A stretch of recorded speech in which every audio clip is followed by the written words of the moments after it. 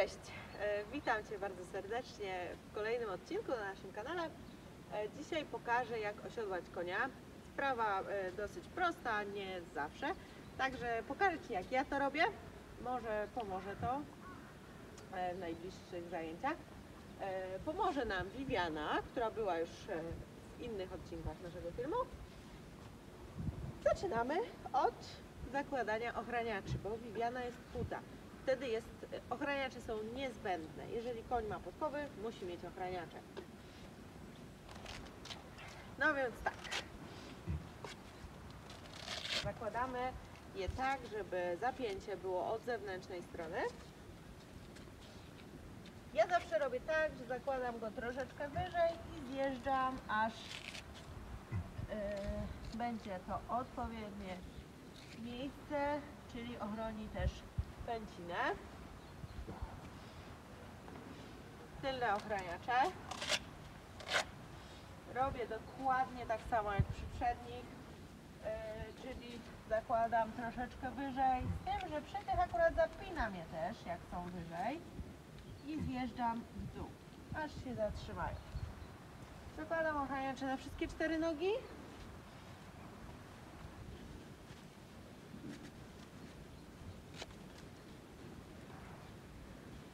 Jeżeli siodłamy konia tak jak ja teraz, e, jak jest przywiązany, to zaczynamy zawsze pierw od czapraka i siodła. Jeżeli będziecie siodłać konie w boksie, zawsze zaczynamy od ogłowia. E, Często e, pytacie, jak go założyć, czy paski z przodu, czy z tyłu. Jest to bardzo proste. Zakładamy czaprak, tak, żeby te paseczki, które przypinamy potem do siodła, były z przodu. Wtedy nie da się pomylić. Prawie każdy czaprak ma te paski. Następną rzeczą jest podkładka. Nie zawsze się ją zakłada. Służy ona do tego, żeby koniowi było wygodniej i jeźdźcowi też. Zakładamy ją również paseczkami do przodu.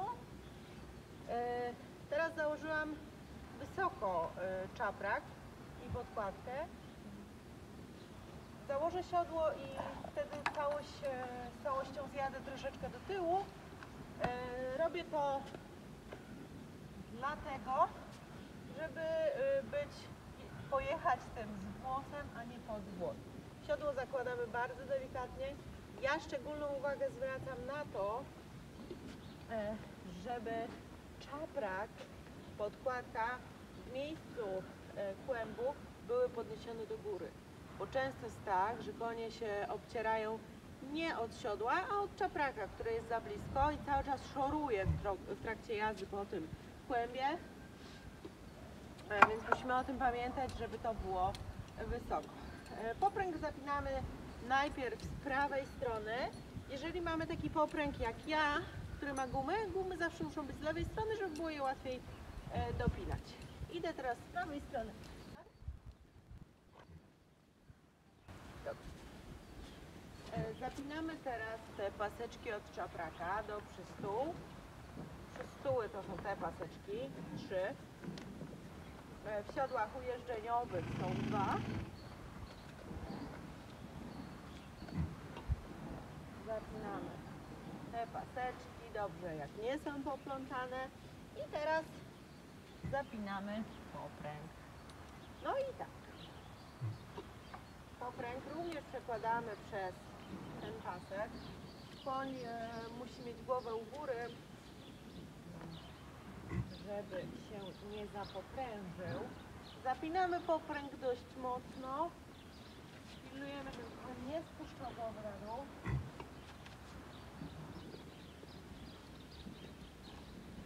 Konie tego nie lubią. Uważajcie, może się zdarzyć, że koń nas gryzie bądź kopnie przy tym, wtedy próbował. Albo chociaż straszył i kładł uszy, jak Sylwianka teraz. E, dobra. No i sprawdzamy znowu, czy mamy ten czaprak podniesiony do góry. Mamy. Mogę swobodnie włożyć tutaj rękę. No, dobra. I zostało nam założenie ogłowia. No więc, Nie możemy koniowi po prostu zdjąć kantara i tak go zostawić, bo nam ucieknie. Wielka. Odpinamy kantar i zapinamy go na szyi. Wtedy nie ma możliwości ucieczki. No i pierwsze co robimy, to zakładamy wodę na szyję konia. Żeby nam tutaj nie plątały, nie majtały i w razie co, żebyśmy mogli też konia za złapać. No to zaczynamy od początku. Łapiemy całe ogłowie w prawą rękę, rękę trzymamy na nosie konia. I teraz pamiętamy o tym, żeby nie jeździć koniowi wędzidłem po zębach. Wiadomo, że on w końcu otworzy pysk, bo wędzidło nie jest dla niego przyjemne na zębach. A tu jest takie miejsce, widzimy, w którym koń nie ma zębów. I jak my tutaj naciśniemy, to koń zawsze otworzy pysk. Więc łapiemy wędzidło palcami, a kciukiem właśnie naciskamy na to miejsce, które Wam przed chwilą pokazałam. Koń zawsze wtedy otworzy pysk i jesteśmy bez problemu w stanie włożyć wędzidło do pyska. Przekładamy pasek potyliczny za uszy konia. Wyciągamy grzywkę, żeby ładnie wyglądała. Ym, Zapinamy na chrapnik. Wiana łyka, więc jest y, utrudnione siodłanie jej.